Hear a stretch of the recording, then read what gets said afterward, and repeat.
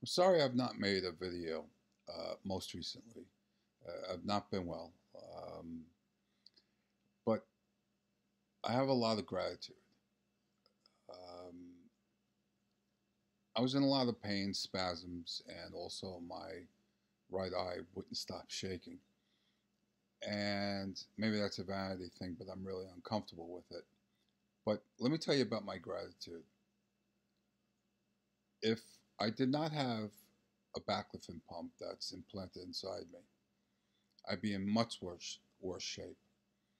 And that is, I have a home nurse that comes and number one checks on the on the baclofen pump, but number two, uh, by doctor's orders through a computer at my own home, can up the dosage of it. And that's just starting to take effect now, and I'm starting to feel better. I'm not getting the tremors I used to, nor the spasms. So I'm really, really grateful for that. And that's going to lead me into a little bit of what I want to talk about with you today, if we can, please, is the gratitude of no contact on Mother's Day. And I remember also well two things when I reconnected with my narcissist is that, oh my God, I'm going to have to be in that environment again, that toxic environment. I'm going to have to watch the dings, the zings. I'm going to have to watch the lies. I'm going to have to watch the insults between everyone else. And what a horrible way to spend what is supposed to be a family day. So I'm grateful I'm not going to be in that environment I'm also very grateful because I remember the time when I first broke no contact again. And that was a very, very difficult period for me. And for those that you who are just going through that, newly no contact with a narcissist on either a Mother's Day or a Father's Day, what you may be doing, and what I certainly did, is look to myself that I must be the problem, that I did this to myself that they're all talking about me and I brought this upon myself. It's my own fault. And over a little bit of time, you realize the truth to that. Over a little bit of time, you start seeing clarity of what really the problem was. Over a little bit of time, you start gaining gratitude that you do not have to be placed in that toxic, sick environment. So, my message to you today is if you are feeling at all a little bit down on yourself, a little bit hard on yourself, if you're even thinking for a moment that this is because of you, well, please accept this. It is not. And please give yourself a little room to have gratitude. Be grateful that you do not have to be in that toxic environment. In fact, not being there, not being in that surrounding, gives you time to enjoy what you're really supposed to be doing, enjoying a healthy life. And I want to tell you something.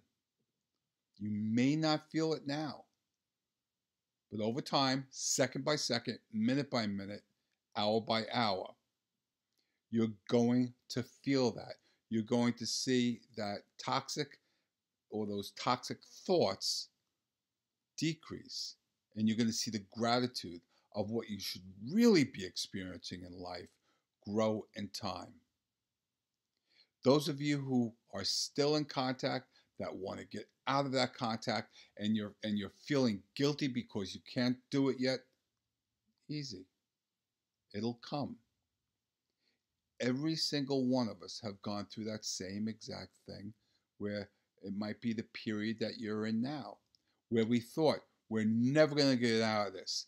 I hate being here, or I, I, I don't have the power, I'm too weak to make no contact.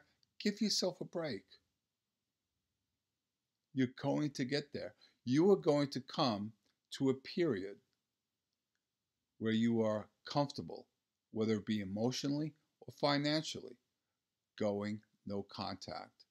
And that doesn't just mean if if your abuser is a parent.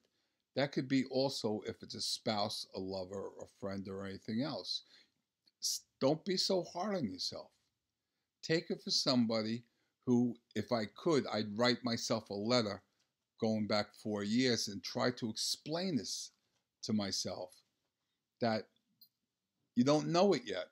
You can't feel it yet because you have to go through all this pain, disbelief, and horror. It gets better. Not only does it get better, it opens the doors for you to start what you really should be doing, and that's enjoying life and getting those toxic messages out of your head. If you're feeling bad on this Mother's Day, just remember this you're no contact for a reason. You didn't just pull this out of the sky. You didn't just wake up and choose to be no contact. Things were done to you, things were done upon you that caused you to at least question going no contact, to at least wanting to protect yourself and, and say, I don't want to be feeling like this anymore. Give yourself a break today. Have gratitude, either knowing that you don't have to go through it or soon you will no longer have to go through it.